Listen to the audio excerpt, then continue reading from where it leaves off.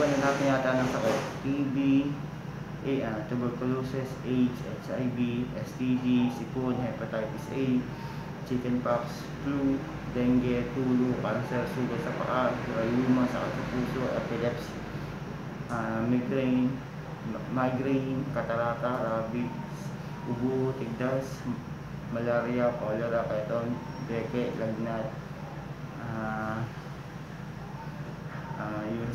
mabawang paa, COVID-19 virus, pagtatae, tapos ano, yung dehydration, infection, fever, chickenpox, ah sakit sa ihi, urinary infection, hypertension, ah, convulsion, allergies, bronchitis, ah, asthma, hepatitis A, B, meningitis. Sabi ko, ano, kung yung kakasakit kami, ako talaga, number one na binubutahan namin, albularyo. Pero nung time na buhay pa yung papa ko, nung bata kami, pag dalawa lang kami nung una eh. Ako yung ano, ako yung pag nagkakasakit kami, talaga sa private hospital kami na ano, nakukonfine.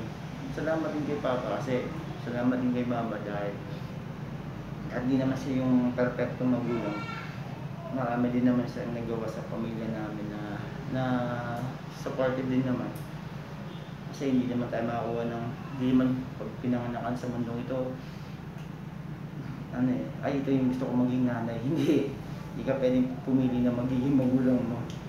So, minsan, maraming nangyayari sa buhay namin na gulo, away, pero wala, pamilya pa rin talaga. Minsan naisip ko na napaka-selfish ko, makasarili.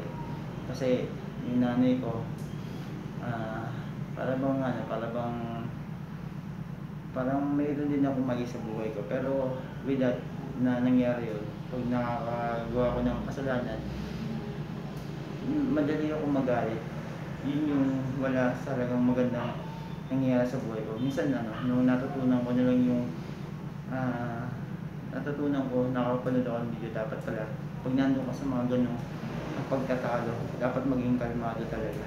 Yun yung gusto kong katangian na kalma lang talaga. So yun lang naman, sabihin yung masamang masamang comment mabuti pa ko sa my channel. Bye!